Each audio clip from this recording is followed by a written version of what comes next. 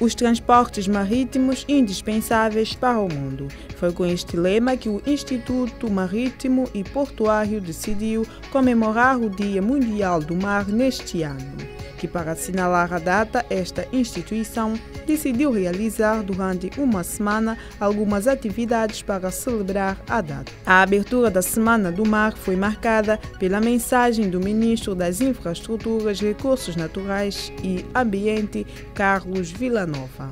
No dia 24 de setembro, os funcionários do IMAP participaram na missa católica no Porto de Ana Chaves e no Porto de Santo Antônio, seguida de lançamento de flores em memória dos que pereceram em acidentes ocorridos no mar, seguido de buzinão dos navios. O essencial é estarmos juntos, sermos autênticos, sermos aqui que nós somos e seguir sempre com integridade, humildade e muita iluminação é, capacidade de ensinar os outros. Nós estamos cá a trabalhar, ninguém sabe tudo.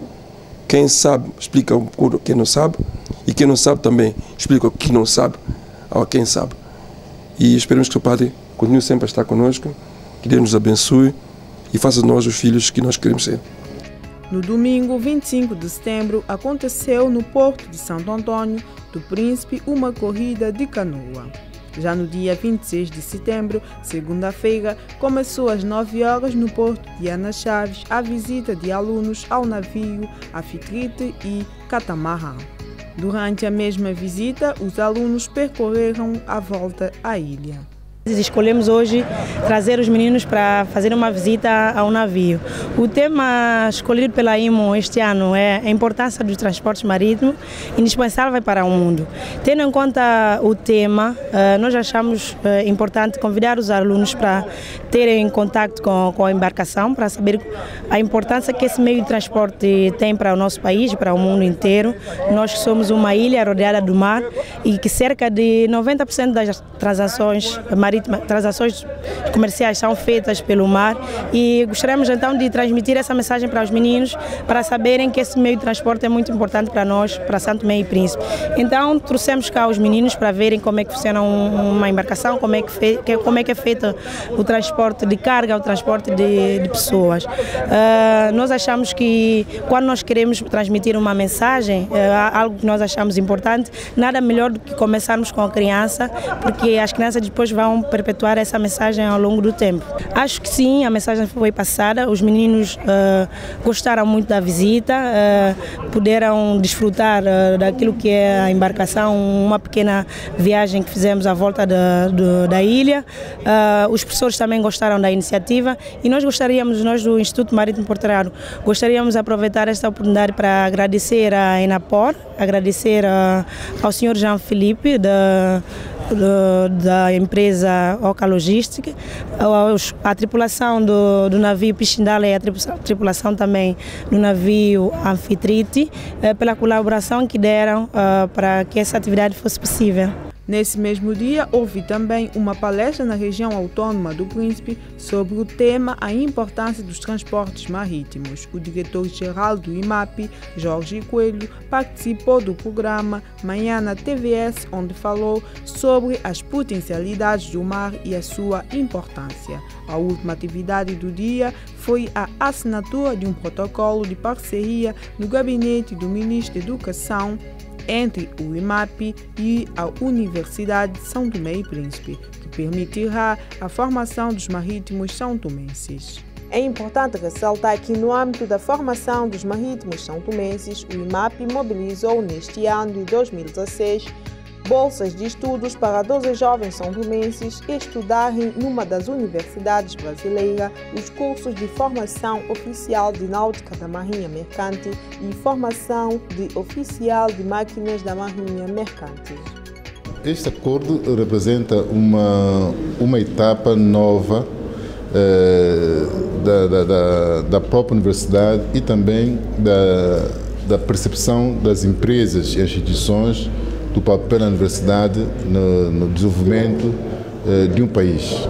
Eh, porque eh, a estabelecermos esta parceria, isto é, a universidade e, e, e MAP, eh, e MAP reconhece que eh, a universidade hoje pode trabalhar tanto no campo da investigação, de propor soluções para Uh, para que uh, IMAP possa desenvolver as suas atividades com segurança.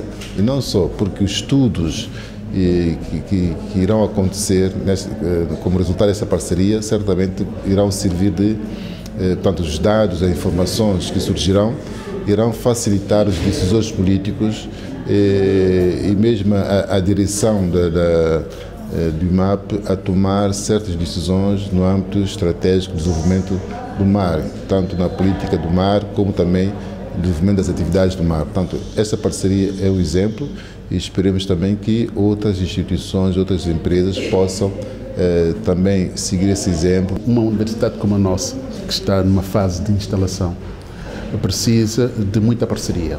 Eh, sem parcerias, nós não somos capazes de cumprir com, com, os, com as nossas obrigações. E, particularmente, no que diz respeito a esta parceria que acabamos de, de, de assinar, tem uma uh, importância muito grande. Uh, como o Sr. Ministro teve a oportunidade de frisar há bem pouco tempo, nós estamos rodeados de mar e porque estamos rodeados de mar e somos duas ilhas, duas pequenas ilhas, o mar acaba por ter uma importância em termos econômicos enormíssimo para nós. Há um potencial enorme no mar que não está sendo explorado. E para que esse potencial possa ser explorado, é preciso termos o conhecimento do mar. Daí que entra a importância da universidade em formar, formar são tomenses que possam perceber qual é a importância e quais são as potencialidades que podem ser exploradas através da economia do mar. Eh, nós vamos fazer tudo para que este, esta parceria, este, este, este acordo que foi acabado de assinar, não seja uma letra morta. Eh, vamos dar todo o nosso suor no sentido de fazer com que possamos criar condições para que os santomenses possam eh, conhecer o mar e não estarem de costas voltadas com o mar. No dia 27 de setembro, terça-feira, foi realizado exercício teórico tabletop para a República de São Tomé e Príncipe e realização de exercícios teóricos Tabletop Exercício sobre a proteção marítima com a colaboração da IMO. A cerimônia de abertura foi presidida pelo Ministro das Infraestruturas, Recursos Naturais e Meio Ambiente, Carlos Villanova. O índice de tráfego dos navios que atravessam frequentemente a nossa zona econômica exclusiva é bastante grande. E o transporte marítimo não é apenas um veículo do comércio global mas também uma forma de contribuir significativamente como uma grande indústria em particular e como uma importante fonte de renda para muitos países em desenvolvimento. São Tomé e Príncipe não foge à regra, visto que o país possui uma extensão territorial marítima até 160 vezes maior do que o seu território terrestre, razão pela qual a política marítima são tomense merece um espaço de relevância tendo em conta a histórica ligação que sempre tivemos ao mar. Do ponto de vista econômico, 95% de todo o comércio exterior santomense é viabilizado pela via marítima. Além disso, do mar se pode retirar uma infinidade de recursos econômicos, desde a pesca, inertes, energias, sal, pedras preciosas, algas, corais, água, recursos orgânicos, etc. A formação eh, tem como objetivo preparar, pessoa, preparar pessoas especializadas que funcionam eh, em diferentes órgãos de, de, segurança de Santo e Príncipe eh, para casos de acidentes, acidentes que podem ocorrer no mar. E a formação temos, temos como convidados diferentes representantes da Guarda Costeira, é, setor do ambiente, setor da, da segurança da, da, da, da FASP, sector de, de, todos o sector está ligado à, à defesa e segurança que lida com o mar. Nossa missão no IMAP é proteger vida e bens embarcados no mar. Portanto, há muita coisa que pode ocorrer no mar. E às vezes nós preocupamos muito com a questão da parte só econômica e parte só de defesa, mas esquecemos da parte preventiva.